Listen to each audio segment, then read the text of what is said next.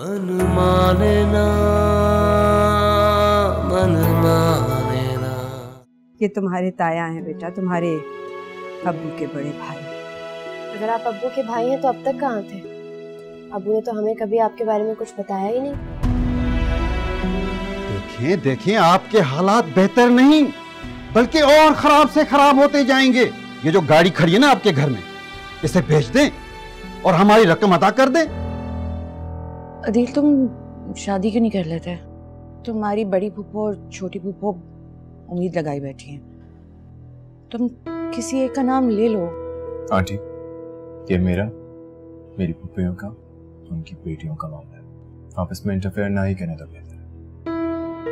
मन माने ना